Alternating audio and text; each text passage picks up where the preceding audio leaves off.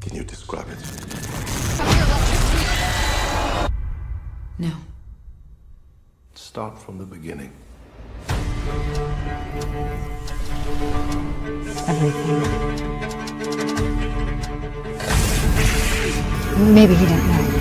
Whoever holds this hammer,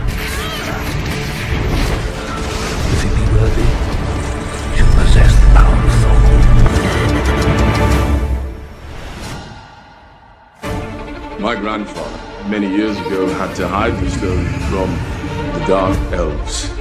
Ooh. Scary being. So Jane. Oh, there she is. Yes, your Jane uh, an old flame of mine. Uh, you know, she she stuck her hand inside a rock at one time, and and then the Aether stuck itself inside her, and she became very very sick, and so I had to take her to Asgard, where I'm from, and uh, we have to try and fix it. Oh, you know, Jane and I aren't even dating anymore. The first time in a thousand years, I, I have no path.